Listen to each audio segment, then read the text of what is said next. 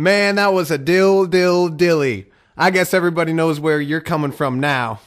I don't know. Some people seem confused by martial metaphor, you know?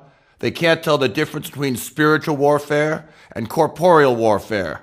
Some of the people who get on our case for being knights are under the influence of the same warmongering demons as the politicians that ignore the commandments that Jesus affirmed. That's messed up. Why don't you set them straight? All right, we will.